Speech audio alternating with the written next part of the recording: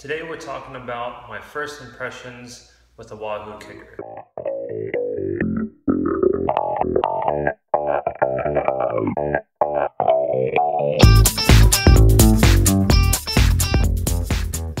Now I must uh, preface that I've been uh, using trainers and rollers for the past about 10 years. Um, I started with a smart trainer about five years ago with a borrowed CompuTrainer. And then shortly after there, uh, purchased um, a CycleOps PowerBeam Pro. I was with that for about four years, and then within the last uh, month and a half, I uh, purchased a Wahoo KICKR. So here are my first impressions.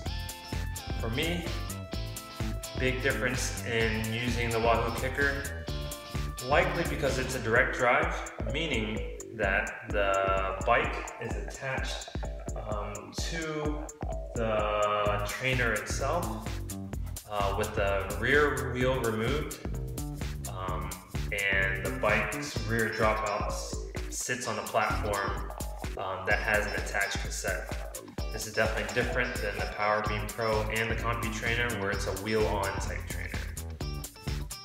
Now for me, um, one of the big things that I really like with my training is the smoothness and the transitions between different um, uh, power levels. Say I'm riding at about 200 watts and then I need to bump up with intervals to 250 or 300 watts or even more.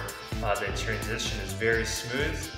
Um, I don't feel like there's a lot of hiccups or a lot of uh, variable into the pedal smoothness or the pedal stroke itself. And again, this is likely due to the fact that it is uh, not a wheel-on trainer. A lot of different variables with a wheel-on trainer uh, with tire pressure, tire temperature, um, how tight you have uh, the rear roller pushing up against the tire itself. So there's a lot of different variables that can influence the feel of a wheel-on trainer.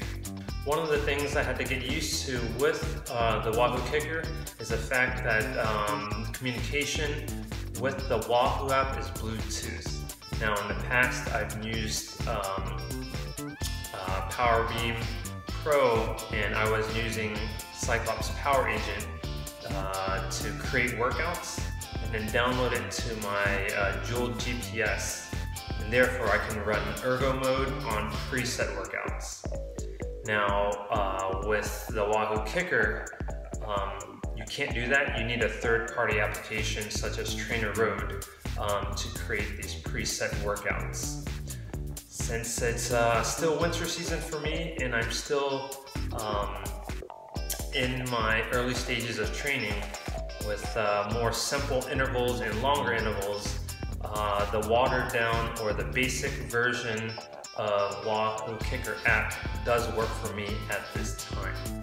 Um, I have to personally uh, manually change the resistance um, and then I can hit lap so it's not necessarily a preset workout where I um, have say a uh, 40 minute workout with 5 minutes of this interval, 10 minutes of this interval, press play and it automatically adjusts. For me, I have to set the resistance at any given time that I need. Um, again, since it's winter season, I'm not adjusting um, quickly between different intervals, doing say one minute interval hard or 15 second spin ups. Um, the Wahoo KICKR app does work for me at this time.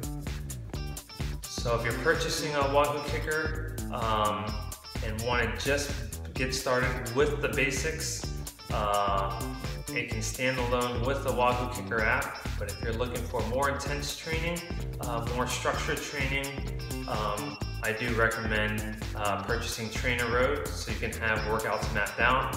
They have a lot of creative preset workouts already uh, on the website that you can download and press play and go. So I look forward to uh, creating some simple workouts and easy workouts mapped out um, on the trainer itself have uh, in my training section a bunch of different uh, workouts for you to do.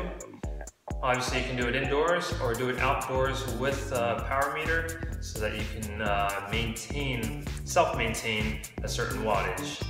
So stay tuned, subscribe for uh, trainer workouts. Thanks. This is K squared cycling. Keep the grams down and the watts up.